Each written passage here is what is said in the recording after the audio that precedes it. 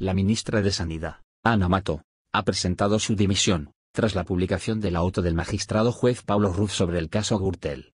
Ana Mato manifiesta, en un comunicado con el membrete del ministerio, que en ningún caso el juez le imputa ningún delito ni tampoco le atribuye responsabilidad penal alguna. No quiero, bajo ningún concepto, que mi permanencia en esta responsabilidad pueda ser utilizada para perjudicar al gobierno de España, a su presidente ni tampoco al Partido Popular, asevera Mato. A su juicio, el juez Ruz se limita a comunicarle la resolución a efectos meramente civiles como consecuencia de su situación familiar en el momento en el que supuestamente se produjeron los hechos y en el que estaba casada con el exalcalde de Pozuelo de Alarcón, Jesús Sepúlveda. Quiero agradecer especialmente al presidente del gobierno su confianza, así como a los miembros del Consejo de Ministros y a todos los compañeros de mi partido, ha añadido Mato.